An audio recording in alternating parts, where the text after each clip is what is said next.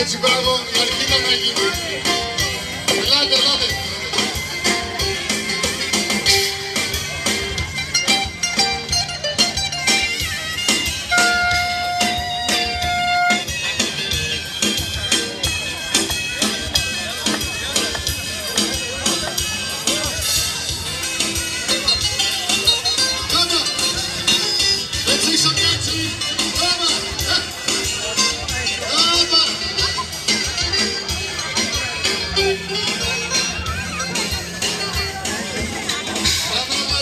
Αμαρτήτως δεν είμαι, ούτε και καλό παιδί.